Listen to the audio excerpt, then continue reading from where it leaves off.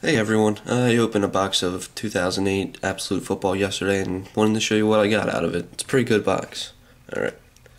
I got a Santonio Holmes Spectrum card, number to 25.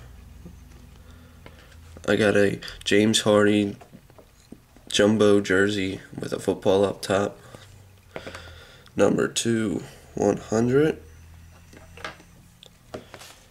I got a Jake Long dual patch number to 10. That's pretty good. I got a three color patch auto of Roy Williams number 13 of 15. And the big hit was a Jonathan Stewart autograph, two jerseys and a football, number to 299.